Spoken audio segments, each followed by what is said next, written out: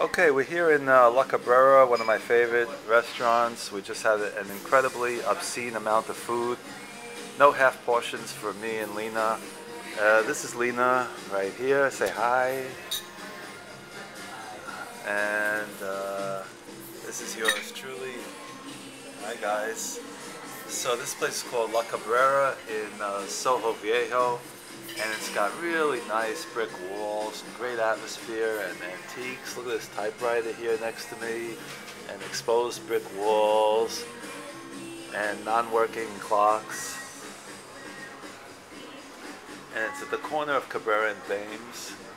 And the meat here is the best I've ever had in Buenos Aires.